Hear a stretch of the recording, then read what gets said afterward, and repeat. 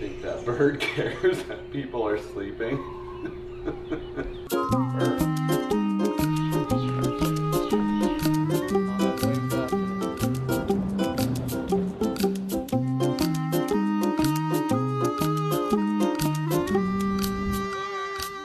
Wax that thing down.